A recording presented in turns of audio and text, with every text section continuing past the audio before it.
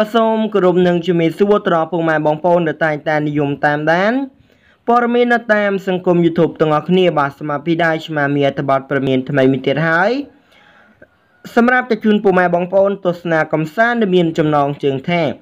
តាន់គឹមសួរត្រៀមនឹងធ្វើបេសកកម្មថ្មីមួយទៀតឡើងភ្នំអរ៉ាដើម្បីដាំដើមឈើប្រមូលមូលនិធិជួយដល់ឧបត្ថម្ភដល់មន្ទីរពេទ្យគុណភៈបុផាជួយសង្គ្រោះជីវិតកុមារកម្ពុជា បើមុននឹងបងប្អូនចូលទៅតាមដានព័ត៌មានលម្អិតសូមបងប្អូនកុំភ្លេចចុច Subscribe และ Share ម្នាក់មួយដើម្បីទទួលបានព័ត៌មានថ្មីៗជារៀងរាល់ថ្ងៃក្រោយពីសម្រាប់ជោគជ័យបេសកកម្មដាំកូនឈើជួយសង្គ្រោះផែនដីរួចមក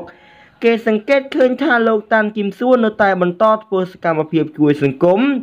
និងការពារព្រៃឈើជាពិសេសលោកបានជំរុញឲ្យប្រជាពលរដ្ឋខ្មែរ ចូលរួមសកម្មភាពអភិរក្សសត្វផ្សោតនៅទឹកសាបដងទន្លេសាបមេគង្គកម្ពុជា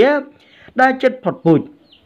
ទៅថ្មីថ្មីនេះដែរតាន់គឹមសួរបានបង្ហើបពីគម្រោងថ្មីមួយទៀតរបស់ខ្លួន គឺការឡើងភ្នំអរ៉ាល់ដាំកូនឈើធ្វើមូលនិធិដើម្បីជួយសង្គ្រោះជីវិតកុមារកម្ពុជាវិញម្ដងយោងតាមប្រភពកេនី Facebook លោកតាន់គឹមសួរបានរៀបរាប់ឲ្យដឹងថា ជួបពិភាក្សាគ្នាអំពីគម្រោងឡើងភ្នំអរ៉ាល់និងដាំកូនឈើដើម្បីគៀងគរមូលនិធិសម្រាប់មន្ទីរពេទ្យគុណភៈបុផាក្រោមប្រធានបទឡើងភ្នំអរ៉ាល់ដើម្បីជីវិតកុមារកម្ពុជាតែនឹងមានវត្តមានរបស់បងស្រីយឹមឆៃលីនជាប្រធានកិត្តិយសផងដែរខ្ញុំគិតថាកម្មវិធីនេះល្អបានណែនាំផ្ដល់ការងារជូនប្រជាកសិកម្ម បាទសំទោសប្រជាសហគមន៍បាននឹងជួយផ្សព្វផ្សាយអំពីតំបន់ភ្នំអូរ៉ាល់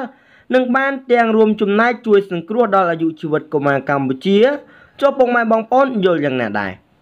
បាទអញ្ចឹងសម្រាប់អត្ថបទព័ត៌មានដែលតកតងទៅនឹងបាលោកតានគឹមសួរនេះក៏មានតែប៉ុណ្ណឹងហើយក៏សូមអរគុណសម្រាប់ការតាមដានរបស់ពុកម៉ែបងប្អូន តាំងពីដើមរហូតដល់ចប់សូមអរគុណនិងសូមគោរពលា